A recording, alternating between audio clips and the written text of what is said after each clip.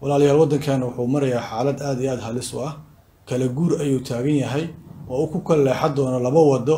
oo middood ay ku dhammaato magaalada dhuusamareeb oo ah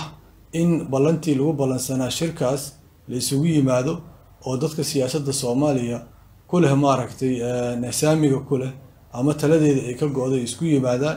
oo ay soomaali oo dhan taageersan tahay oo ay beesha caalamka dhan oo taageersan tahay. Waddadaas waxaa la yidhaahdaa waddada looga heshiinayo doorasho la isku raacsan yahay lagu wada qanacsan yahay. Waddada kale waa waddada ku dhammaata villa soomaaliya ee la doonayo in lagu carqaladeeyo shirkaas lagu hor istaago lana doonayo in la burburiyo natiijadii ka soo baxday iyo go'aanadii ka soo baxay shirka dhuusamareeb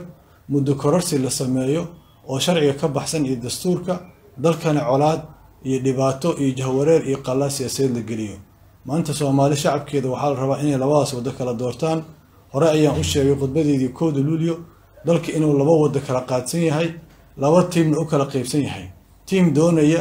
in doorashada xilligeeda la qabto laga heshiiyo si nabadana xukunka iyo talada dalka lagula kala wareego oo ay xisbiyada siyaasadeed dowlad goboleedyada aqalka sare iyo inta badan beesha caalamka ay taageersan yihiin iyo waddada kale oo ah guddoonka baarlamaanka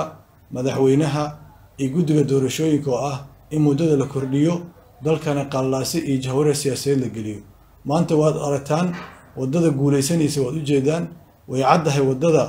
Dadka soomaaliyeed xooggiisa ay taageersan yihiin iyo intiisa badan xoogga siyaasadeed intooda badan adduunkiina uu ku soo hoobtay oo dhammaan hadda lagu baaqayo in la fuliyo natiijadii ka soo baxday shirka dhuusamareeb waddadaas waa midaan taageersannahay waan ka soo horjeednaa qalalaasaha iyo jahwareerka kooxda doonaysa dalka inay geliyaan oo filla soomaaliya iyo taliskeeda nabad sugidda ay ka arrimiyaan sidaas daraaddeed ayaa waxaan ugu baaqayaa shacabka soomaaliyeed inay adkaystaan natiijooyinkii shirka dhuusamareeb oo ay garab istaagaan dadka doonaya wanaagga iyo horumarka iyo nabadgelyada iyo xasiloonida iyo taladoo si nabada lagula kala wareego inta doonaysa inay garab istaagaan. Gaar ahaan waxaan ugu baaqiyaa shacabka galmudug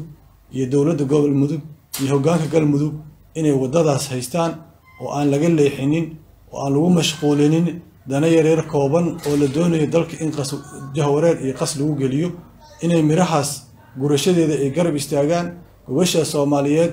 ee taalla aan laga mashquulinin aan laga leexinin miraha ka soo baxana dhammaan iyagoo galmudug ah iyo shacabka soomaaliyeed ay wada gurtaan oo aan wanaag iyo nabad iyo horumar iyo dowlad iyo nabad dhismaha dalkeenna aan annagoo gacmaha is wada haysana aan sidaan ku soo wadnay ee tartiibka ahayd ee deganeed ee xasilneed aan ku wadno. Waxaan rajaynayaa mar kale oon in leeyahay in ummadda soomaaliya ilaahay qulubteeda burcad iyo wanaag isku mariyo kuwooda jidka ka leexsan soo hanuuniyo kuwooda jidka ku taagana ku sii adkeeyo